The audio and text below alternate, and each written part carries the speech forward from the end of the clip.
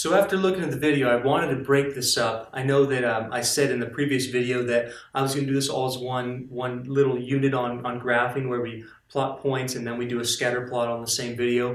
Um, I wanted to break it up. I, I, think that I want to get your attention back on scatter plots. I'm going to treat it as a, a slightly different animal. And so here's the video on how to, how to make a scatter plot. Given the data, it's very similar to plotting. Enjoy.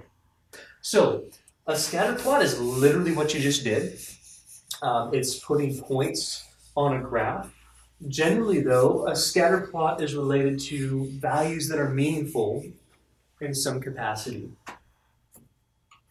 So let's compare, um, this is done often, let's compare years with like a, a how numbers are changing. Uh, we can do it with population. So what's happening to Los Angeles as we move from 2010 through 2017? Uh, is the population growing? Is it shrinking? What is the population? How does it look? So let's let's try that. Uh, let's do. I think I have internet users here. So here's some data. I think I just made it up, or I might have got it from somewhere. I'm not. I don't remember. But let's say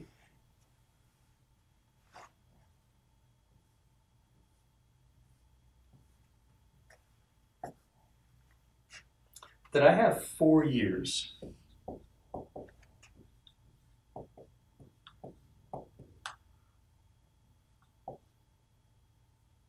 That's maybe five years. And here's the data that I found on the number of internet users for the year that, that's given.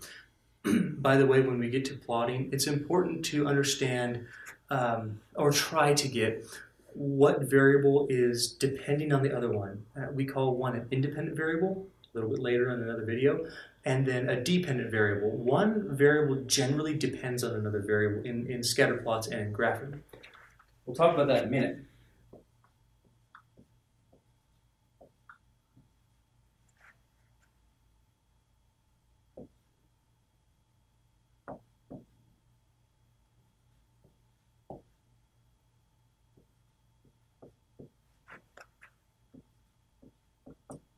So in this example, I want to teach you a few things. Number one, I want to teach you how to make ordered pairs. Number two, I want to teach you how to, how to create some axes. Number three, I want to teach you how to identify a dependent and an independent variable. Um, and number four, uh, I want to teach you how to um, how to connect them with a line. So this this all needs to be taught in one lesson so you understand the nature of plotting with a scatter plot. The same idea. So here's here's the first thing: how you identify your horizontal versus your vertical axis most of the time, we want our horizontal axis to be the independent variable, and we want our vertical axis to be the dependent variable. Now, what in the world do I mean by that? What I mean by that is look at your look at your, your data. If you, this is your year and this is your number of internet users, uh, 220, let's say this was at uh, whatever college you're at, I don't know. Uh, we're kind of making it up. So what depends on what? If I if, if you ask yourself the question, um, does 2010 depend on how many internet users you have, or did you get the number of internet users compared to what year you looked up?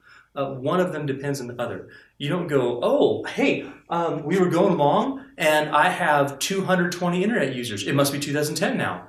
Not really. Uh, we went along and said, oh, it's 2010 now. How many internet users do I have? Do you see how uh, we looked up internet users for the year, not the year for the internet users. That's how you try to tell what variable is dependent and what variable is independent. The number of internet users that we are having depends on the year that we were looking up.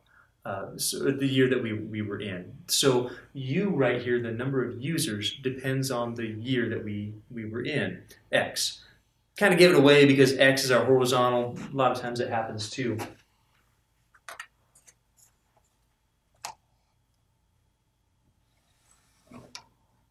No, that didn't work out too good.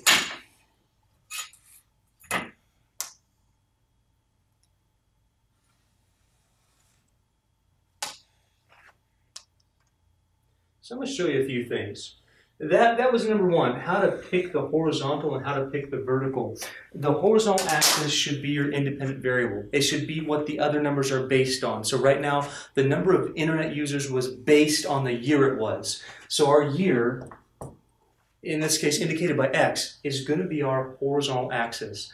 The other axis, the, the numbers that depend on what you, you're, you're given, so our, our dependent variable here is users, dependent on what year we were considering. So u is going to be our vertical axis. That's what the numbers depend on the other numbers. So u numbers depend on the year numbers in this case. Users depend on the year.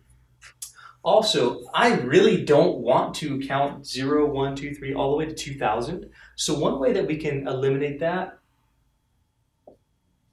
is by creating this little break in our graph and saying, hey, you know what, I get that this is not uh, going to be a consistent scale. We're going to shorten our graph a little bit so that we don't have nothing for 2,000 units of x and also we have graph out there. That's, that's a little ridiculous. Also, this starts pretty high, so I'm going to give myself a little break along the u-axis as well. So years, we've got users. And then we need to make sure that we have the same scale. So we're going to create the scale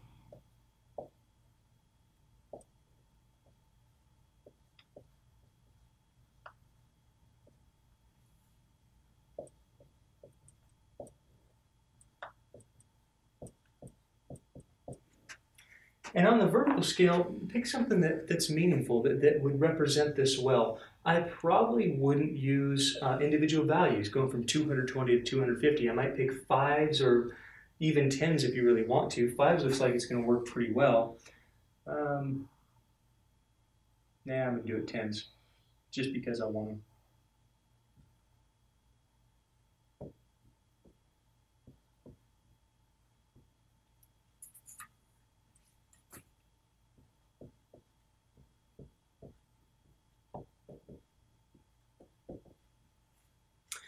And then we're going to look at making ordered pairs. So the reason why I had you pick the axis and, and use the, the knowledge of what values are based on other values. Here, users depended on the year that was given, not the year that was given depending on the users.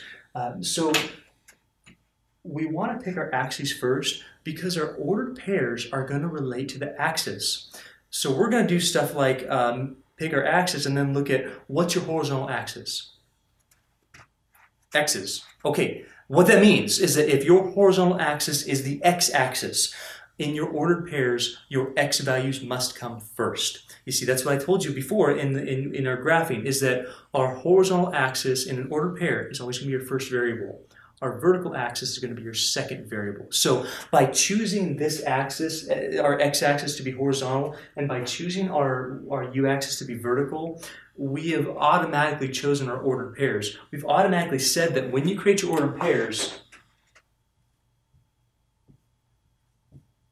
they're going to have to be x first, then u. Now, you could do this backwards. You could pick your ordered pairs first and then let your axes follow from that. That's fine too. It doesn't really matter as long as they go together.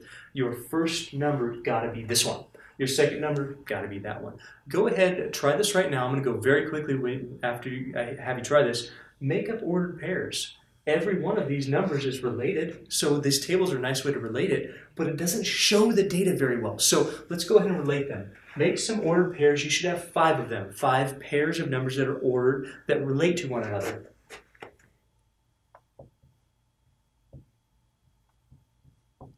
Our x's have to come first our u's have to come second. They should be in the relationship that's given to you.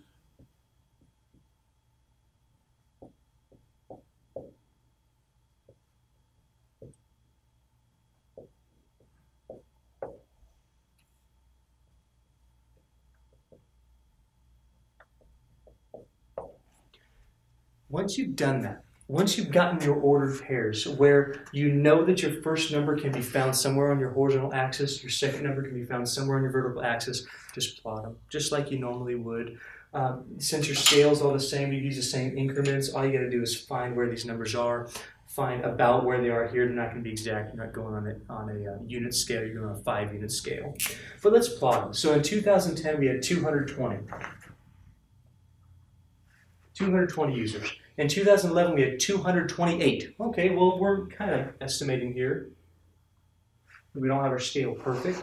In 2012, we had 236.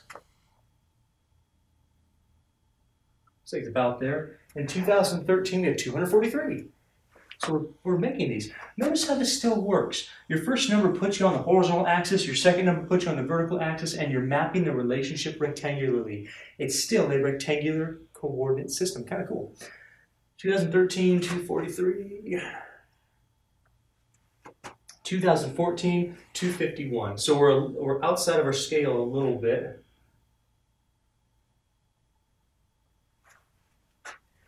Now I want you I want to ask you a question.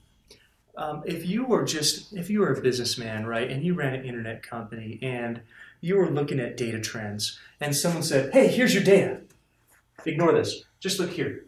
Would you get a good picture of what was going on? Quickly, effectively, in like a five second grab, would you get a picture of what's going on? Maybe if you're if you're pretty good with numbers, you go, oh yeah, our numbers are increasing. How much are they increasing? Is it increasing like this, like exponential? We get to exponential way later. Is it increasing like this, a different type of uh, well, logarithmically, or is it increasing in a straight line? Those are important questions if you're a businessman. What's our growth model? Are we decreasing? Well, are we increasing at a decreasing rate? That's calculus in a little while. Are we increasing at an increasing rate? Are we increasing at a constant rate? Those are important questions. That doesn't show it. But if you were to give someone this graph and say, hey, how are we increasing? Are we increasing? It's pretty easy to see, isn't it? We know our, our years are increasing, our users are increasing. How is it increasing? Is it climbing like this? No. Is it climbing like this? No. Is it climbing, climbing a straight line? Looks to be. We're going to find out later on when we graph lines how to determine that. If we were to connect them, if you miss your points, just make them bigger. It's not really very good advice. But anyhow, if we were to look at that trend, it appears to be almost, uh, if it's not linear, it's really, really close to linear growth. That's interesting. It's really easy to see that when you graph things. So what I want you to get out of this lesson, number one, is how the number lines interplay, how we go about making an order pair to relate two numbers on a graph, how we plot values backwards and forwards, getting coordinates from points, getting points from coordinates, and then how to make a scatter plot. Uh, th those are the big things. I hope that I showed you that in this video. Next few videos, we're going to unpack how to graph lines. Uh, I'm going to teach you a whole lot of stuff up front and then I'm going to unpack it little by little as we go through the videos. Hope you enjoyed it, and I'll see you next time for the videos on graphing lines.